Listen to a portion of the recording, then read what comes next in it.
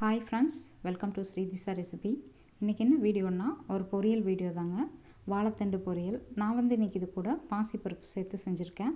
ரொம்ப டேஸ்ட்டாக இருக்கும் இந்த மாதிரி செஞ்சிங்கன்னா வாரத்துக்கு ஒரு நாளாவது நம்ம இந்த பொரியல் எடுத்துக்கிறது உடம்புக்கு வந்து ரொம்ப நல்லது. இது எப்படி செய்யலாங்கிறத பார்க்கலாம். நான் வந்து இந்த அளவுக்கு இருக்கிற வாழைத்தண்டை இந்த மாதிரி பொடி பொடியாக கட் பண்ணி மோர் தண்ணியில் போட்டு வச்சுருக்கேன். மோர் உங்ககிட்ட இல்லை அப்படின்னா ரெண்டு ஸ்பூன் தயிர் தண்ணியில் மிக்ஸ் பண்ணி இந்த மாதிரி அந்த தண்ணியில் நீங்கள் கட் பண்ண வாழைத்தண்டுகளை சேர்த்துக்கோங்க. கருக்காது. இது கூடவே பார்த்திங்கன்னா ஒரு பெரிய வெங்காயத்தை இந்த மாதிரி பொடியாக கட் பண்ணிக்கோங்க.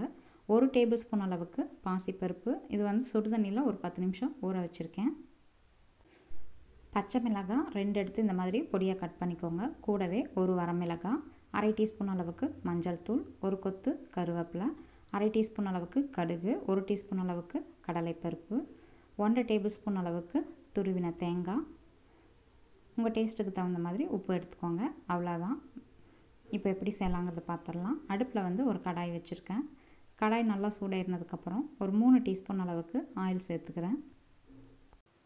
ஆயில் நல்லா சூடாயிருந்ததுக்கப்புறம் கடுகு சேர்த்துக்கலாம். கடுகு நல்லா பொரியட்டும். கூடவே எடுத்து வச்சுருக்கிறேன் கடலைப்பருப்பும் சேர்த்துருவோம். கடலைப்பருப்பு கொஞ்சம் நல்லா அந்த கோல்டன் ப்ரௌன் வரட்டும். அது வரைக்கும் நல்லா வதக்கிக்கோங்க. இப்போ பாருங்கள் கலர் வந்துருச்சு. நம்ம எடுத்து வச்சுருக்கிற வெங்காயத்தை சேர்த்திக்கலாம். வெங்காயம் சேர்த்து மீடியம் ஃப்ளேம்லேயே வச்சு நல்லா வதக்கிக்கோங்க. கருவேப்பிலை சேர்த்திக்கலாம். எடுத்து வச்சுருக்கிற மிளகாயும் சேர்த்திக்கலாம். அவ்வளோதான் இப்போ இதெல்லாம் சேர்த்து நல்லா வதக்கிக்கோங்க. வெங்காயம் வந்து நல்லா வதங்கணுங்க.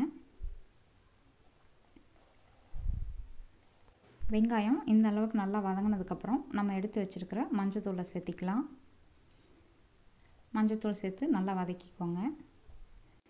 இப்போது நம்ம நறுக்கி வச்சுருக்கிற வாழைத்தண்டை சேர்த்து நல்லா வதக்கிக்கலாம். மோர் தண்ணியில் போட்டிங்கன்னா மட்டும்தான் வாழைத்தண்டு வந்து இந்த மாதிரி ஒயிட் கலர்லேயே இருக்கும். முடிஞ்ச வரைக்கும் நீங்கள் வந்து வாழைத்தண்டை நறுக்கிறப்பையே நாறுகளை எல்லாமே எடுத்துருங்க. அதே மாதிரி வாழைத்தண்டு வாங்குறப்போ வாழைத்தண்டோட அடித்தண்டாக பார்த்து வாங்கிக்கோங்க. அப்போ தான் வந்து தண்டு நல்லா டேஸ்ட்டாக இருக்கும். நல்லா கிழங்கு மாதிரி நல்லாயிருக்கும் அந்த மாதிரி பார்த்து வாங்கிக்கோங்க. இப்போ பாருங்கள் இது கூடவே நம்ம எடுத்து வச்சுருக்கிற பாசிப்பருப்பை சேர்த்திக்கலாம். நான் வந்து ஒரு டேபிள் ஸ்பூன் அளவுக்கு எடுத்திருக்கேன். பருப்பு வந்து நிறையாவும் சேர்த்துற வேண்டாம்.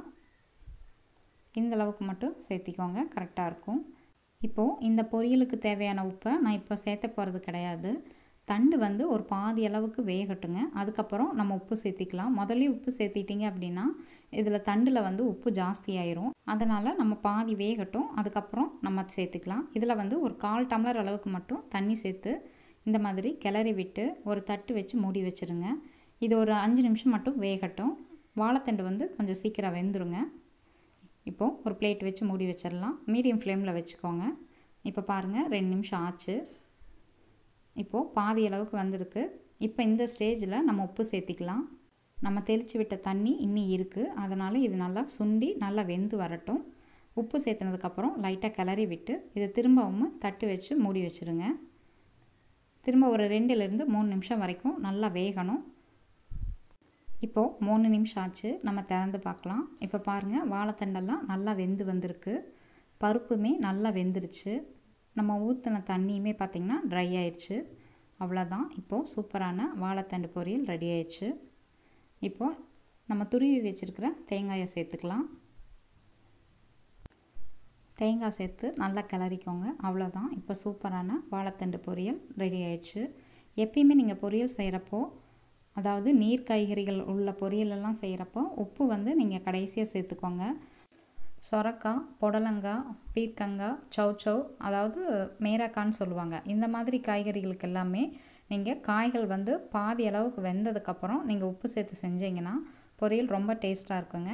முதல்ல உப்பு சேர்த்திட்டோம்னா உப்பு அதிகமாக இருக்கும் காயில். இப்போ அவ்வளோதாங்க தண்டு ரெடி ஆயிடுச்சு. இப்போ நம்ம மல்லித்தலை தூவி இறக்கிடலாம் இப்போது சூப்பரான சுவையான வாழைத்தண்டு பொரியல் ரெடி ஆயிடுச்சு.